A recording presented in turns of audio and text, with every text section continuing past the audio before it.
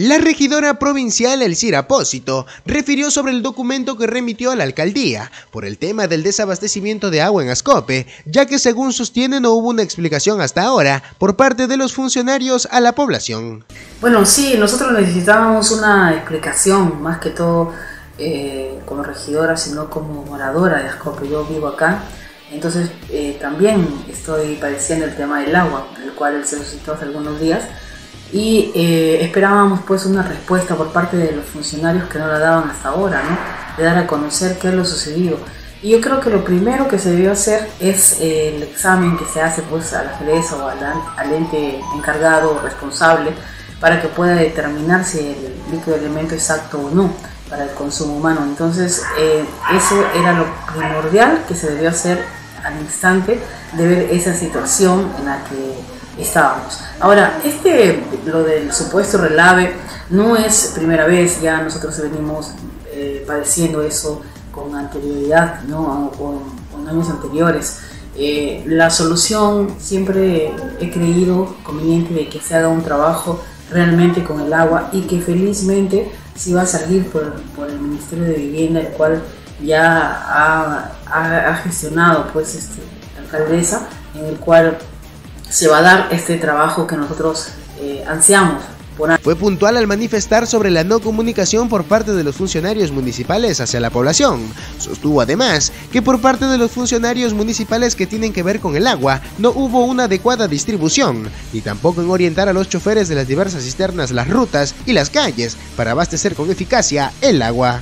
Eh, el tema de la no comunicación que ha habido entre los funcionarios y eh, eh, los pobladores en sí, ¿no? Todos querían saber exactamente qué es lo que pasaba. Incluso eh, yo sé que ha habido eh, la distribución de las cisternas y también, ¿no? Se, agradece esa gestión que ha hecho la alcaldesa con las cisternas y sobre todo a los, a los distritos que han venido a poder apoyar este tema del agua, que es muy importante para no quedarnos sin el abastecimiento en el cual eh, tampoco ha habido una buena distribución. No habían, los choferes no conocían aquí, no sabían por dónde irse, no había quien les guíe. Entonces es por eso el tema de que se debe trabajar en, en, conjunto, ¿no? juntamente con el jefe y los asistentes o los, trabajadores para que así ellos puedan eh, distribuirse y saber el tema de cómo poder eh, llegar hasta en, eso, en ese tiempo, en esos días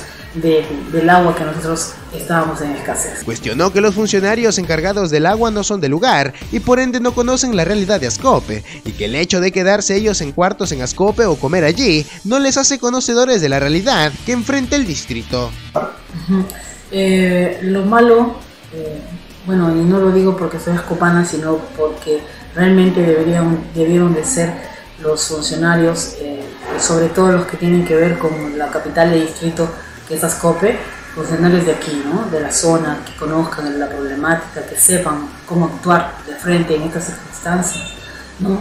y no personas que no son de aquí, que no, no conocen, simplemente quizás ¿no? ellos dicen, sí, yo también me quedo aquí, estoy aquí, pero ellos viven en un cuarto en el cual comen nada más, entonces no saben la problemática en sí lo que nosotros estábamos haciendo. Sostuvo que los funcionarios públicos deben ser de la zona, que conozcan de la realidad y que ayuden a la gestión, sobre todo el cual hasta ahora no se ve reflejado. Eh, bueno, como te repito una vez más, eh, tendrían que ser personas que conozcan de la zona, que sepan, ¿no? que caminen con la alcaldesa de la mano, que estén ahí frecuentemente en todas las cosas, que ayuden a la gestión más que todo pero no se ve reflejado. Finalmente hizo un llamado a los vecinos que se unan a las labores de fiscalización que realiza como regidora y además trató el tema de los Facebook falsos. Eh, decirles a los vecinos que nosotros como regidores no podemos llegar hasta, hasta cada lugar, hasta cada eh, ocasión que se presente o, dilema que haya y que nos ayuden a fiscalizar, que nos ayuden, que nos digan, eh, yo voy a yo contesto siempre todas las llamadas telefónicas, los WhatsApp o los Messenger que me escriben, eh, sea conocido o no, o, sean amigos o no, sean pobladores de Ascope, por supuesto los, los, les contesto, pero eh, que no crean tampoco en los correos falsos.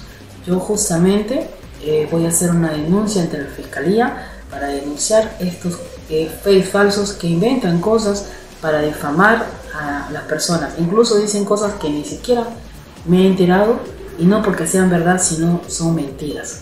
¿no? Son cosas que están difamando y que eso no debe ser. Porque no solamente lo hacen con mi persona, sino con otras personas y eso no debe ser. Están eh, manchando el honor de la gente a través de estos eh, correos falsos que se esconden, que yo sé quiénes son por si acaso.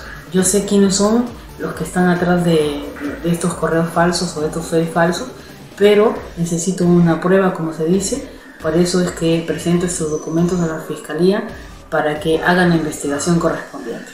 Muchísimas gracias. Buenos días.